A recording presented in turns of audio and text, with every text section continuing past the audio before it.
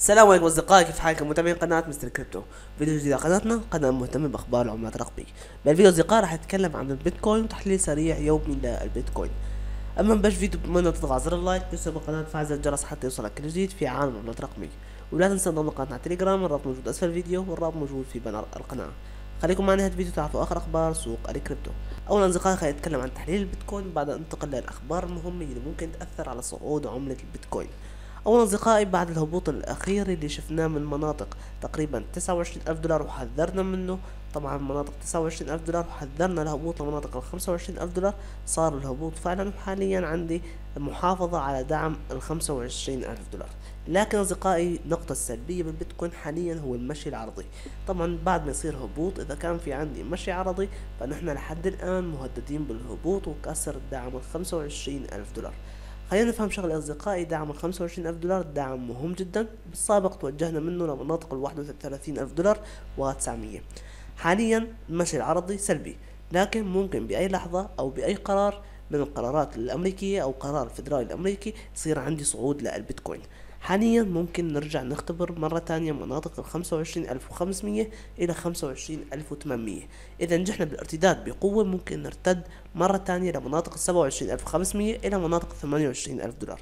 لكن إذا كسرنا هاي المنطقة راح نرجع مرة تانية ننزل لمناطق وعشرين ألف دولار. طبعا أصدقائي كل هبوط قاسي مفروض يجي بعده صعود قاسي. إذا كان الهبوط لكودي فقط. لكن إذا كان الهبوط وراء أخبار فممكن هذا الشيء يسبب استكمال للهبوط. طبعا بعض الأقوال أنه سبب الهبوط هو إيلون ماسك وبيع قطع من البيتكوين الخاصة بشركة سبيس إكس وبعض الأخبار التانية بتقول أنه شركة BlackRock قبل إطلاق صندوق ال ETF spot الخاص فيها طبعا نزلت سعر البيتكوين حتى تشتري بيتكوين بأسعار منخفضة. يعني ممكن لسه يصير عندي انخفاض بالبيتكوين حتى شركة BlackRock تقوم بشراء مزيد من قطع البيتكوين بالأسفل. لحد الآن سبب الهبوط غير واضح وهل ممكن نستكمل الهبوط أو لا؟ هاي الأخبار لحد الآن غير أكيدة. لكن بالأكيد أنه من السلبية أنه نمشي بالعرض بعد وصولنا لدعم.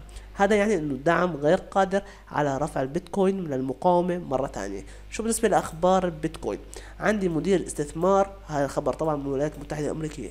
مدير الاستثمار بيقول إنه عندي قيمة 2 مليار دولار جاهزة لشراء البيتكوين من أجل صناديق ال ETF طبعا صناديق ال ETF spot أو صناديق الاستثمار المتداولة راح تقوم بشراء طبعا آه القطع من البيتكوين. لكن هاي الصناديق راح تكون صناديق future حسب ما موجودة بالرسالة أو بالتغريدة. هاي الصناديق راح تكون future وجاهزة للشراء بقيمة 2 مليار دولار. طبعا هذا ممكن يسبب انخفاض للبيتكوين حتى تقوم الشركات بشراء البيتكوين بأسعار منخفضة. ممكن حيتان تساعد هاي الشركات لشراء البيتكوين بأسعار منخفضة. حاليا حاليا شراء البيتكوين جيد وهذا في البيتكوين ما بين سبعة وعشرين ألف وخمسمية إلى ثمانية وعشرين ألف دولار. لكن لازم يكون عندي stop loss إقفال شمعة أسفل مناطق خمسة وعشرين ألف وخمسمية. أصدقائي نكون وصلنا الفيديو بتمنى الفيديو يكون عجبك لا تنسى تشترك بالقناة وتفعل الجرس. اضغط لايك حتى يوصلك جديد في عالم الرقمي مع السلامة دمتم بخير.